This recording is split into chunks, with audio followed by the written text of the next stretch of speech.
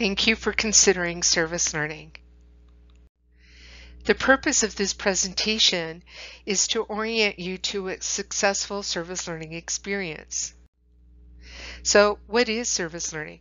Service learning is a type of active learning that supports uh, course objectives in your class. So service learning is not volunteerism, community, or internships, but rather it's the focus on your experience and the reflection of that experience.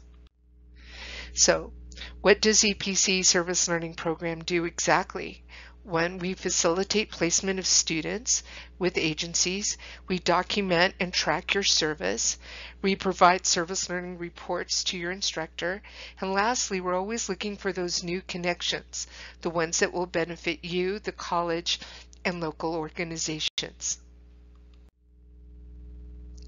The EPCC Service Learning Program connects with course goals and objectives, but more importantly, it provides an opportunity for internal and external self-exploration and provides recognition for that time that you have served. So we hope that the outcomes will be new skill acquisition, that you will learn networking skills and how to interact on a professional level, and that you'll have a real life connection to some of the concepts that you've learned in your courses, and that you will have this fellowship with your students and with your instructors. Let's get started. So what are the steps to participate in service learning? Step one, download the Service Learning application and timesheet files, and this can be found at our website. Number two, save the application and timesheet files onto your computer or cloud drive. Three, reopen these files in Adobe Acrobat and use the virtual pen to complete the form. We're going to ask you please don't forget your student ID number so that we can track you within the Banner system. Then resave the completed files.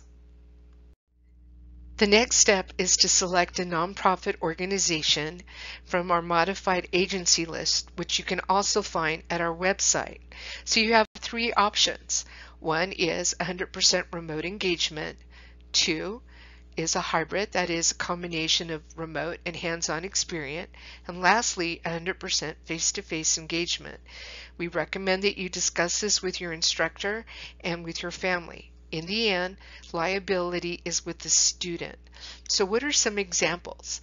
100% remote engagement is maybe storytelling to uh, primary school age children over the net or preparing videos for an organization. An example of a hybrid would be preparing care packages um, for for the military or some organization or maybe food baskets during Thanksgiving and the Christmas holidays. And lastly, for face-to-face, um, maybe it's having that medical experience, especially during the COVID-19 pandemic, if you are interested in a medical career.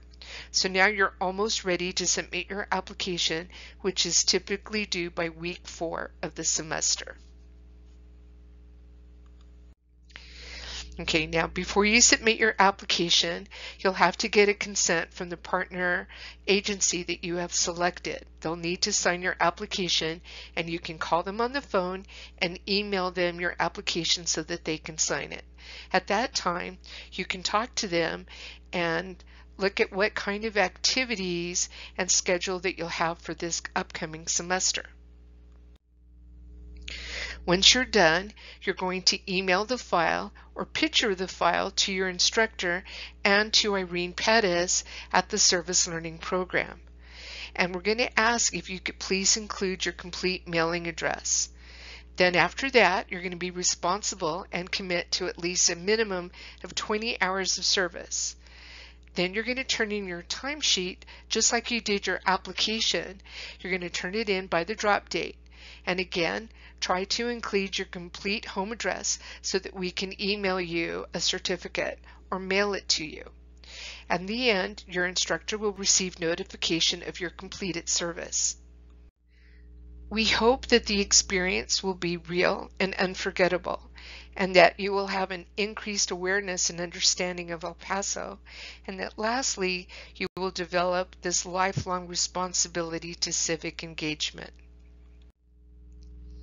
Now, I'm sure that you might have some questions and information that you want to ask of us. Please contact us. We look forward to hearing from you, and thank you for listening to this presentation.